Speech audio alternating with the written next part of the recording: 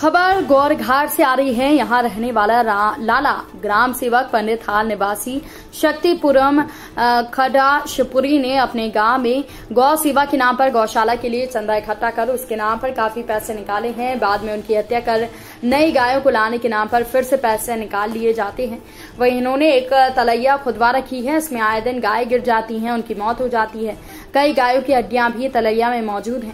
ऐसा ही मामला सामने आया जहाँ पर एक गाय पिछले 48 घंटे से प्यासी थी। जब वो पानी की तलाश में इधर उधर भटक रही थी तो वो तलैया में जाकर गिर गई। ग्रामीणों ने गाय को तलैया में डूबते देख तुरंत ही गौ सेवक लाला ग्राम सेवक को संपर्क किया, जिसके बाद भी गौ सेवक के द्वारा कोई कदम नहीं उठाया गया। तब ग्रामीणों ने एक राय होकर डूबती हुई गाय को बमुश्किल बाहर निकाला।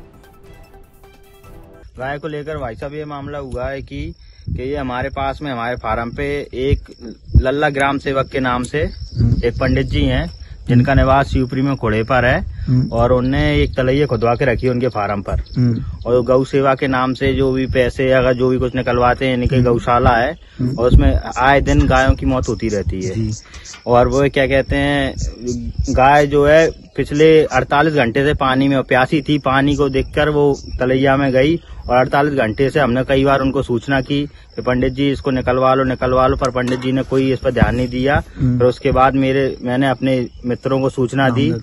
बाकी बाद उसके बाद टिंकल भैया अरविंद भैया रावत सिंह अनवास निखिल निखिल भैया और क्या कहते हैं हम लोगों ने सब मिलके कोशिश की। उसके बाद गाय को बाहर निकाला और उसके बाद आपके सामने ये गाय।